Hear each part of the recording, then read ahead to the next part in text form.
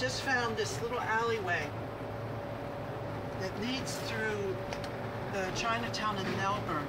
It's going to open up, take us to a whole new world of wonderful, wonderful art. And there's a term that archaeologists use for narrow corridors in the ancient caves and the cliffs of the Pyrenees that's called cat alleys. Um, newcomers to the sport of cave uh, discovery uh, have a tendency to get terrified in these cat alleys because they're so narrow. Uh, fear makes people swell and they can get stuck in them. So this little narrow alleyway as an introduction to a uh, world that we're going to open into in our next sequence is completely appropriate. Here's a section that uh, proves my point in terms of the sophistication and um, of uh, that you can often find in, in, graffiti art that has a kinship with some of the, the best known artists of the 20th century. Um, the uh, tin, galvanized tin uh, sculptural structures on the roof remind me very much of certain Rauschenbergs that were in his retrospective at the Museum of Modern Art not long ago.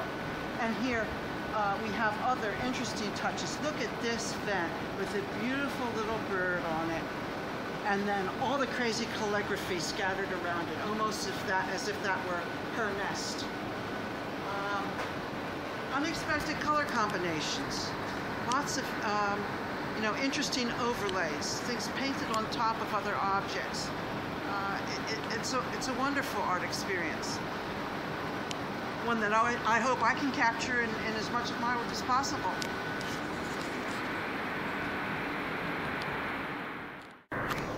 We just found a segment of wall which includes something that does relate to the bricolage I mentioned earlier.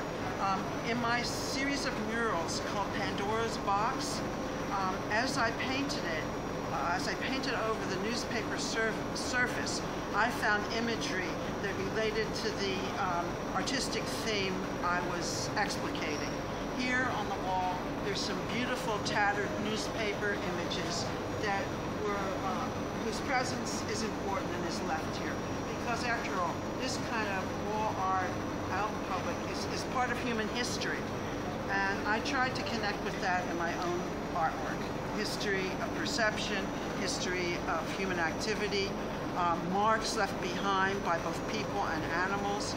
Uh, all of it is fascinating. Here, the brickwork has a fascination. All these uh, bits of paint are put on top of uh, a layer of human activity. The brick wall, the benches, um, all are parts of human life that deserve attention and are seen in a new way when they're combined with this kind of spontaneous, wonderful response to a plain surface. One of the theories of art is that they were a cultural encyclopedia used by the shamans of the early Ice Age to teach the children um, about the animals and about their culture. And in so doing, uh, the, the uh, shaman who guided the children through the caves took them through dark corners and mysterious locations where um, a horse or a bison might be leaping forward. That way they could be frightened into remembering the important things he was telling them.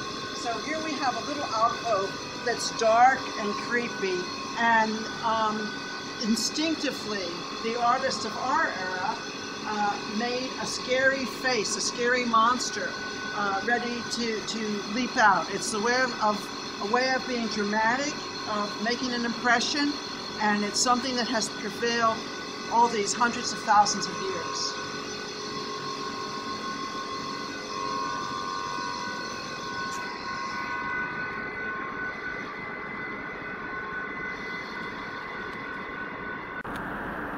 That is a component in all my work is found objects. Obviously, these graffiti, graffiti, graffiti artists enjoy something simple.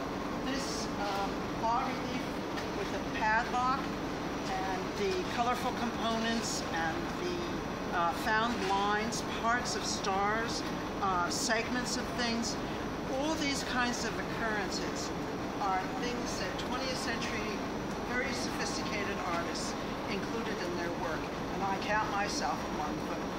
Um, uh,